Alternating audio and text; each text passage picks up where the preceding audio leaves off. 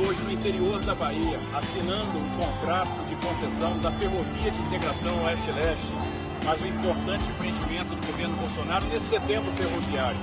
Uma ferrovia que vai ligar a mina em Caetité até o Porto Sul em Léo e trazer mais de 10 bilhões de reais de investimento nesse sistema mina ferrovia porto. São milhares de empregos que estão sendo gerados. E a ferrovia vai prosseguir até o sertão da Bahia, trazendo prosperidade.